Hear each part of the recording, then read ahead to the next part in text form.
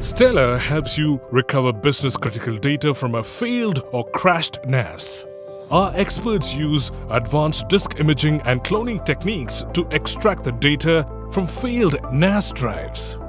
We transplant a new head assembly on the crashed hard drive to allow disk cloning. Our experts then determine data arrangement in the failed NAS and simulate its original configuration to produce a single, consistent volume. Finally, we recover your crucial data using proprietary software, reinstating your business continuity.